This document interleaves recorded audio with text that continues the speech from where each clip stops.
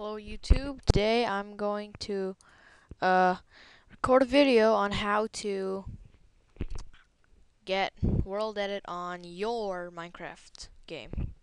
Okay, first of all, go to start, run, or on XP it's already on this side. Run and type in app data, like that. Then go to Minecraft, go to bin, yeah, world edit was you're supposed to drag the world edit into here in a single player command. So, I mean, like in the world edit folder. So open up Minecraft.jar, open archive. I use 7-zip, so delete the meta inf for it to work. And yeah.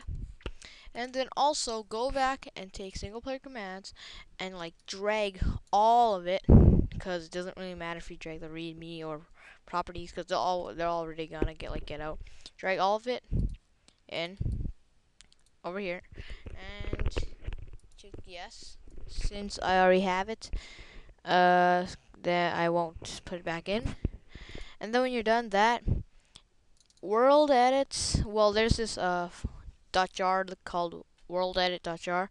Drag it into dot bin into the dot bin, and then you got it uh, you got dot Minecraft, I mean World Edit. See ya. Hope this helps.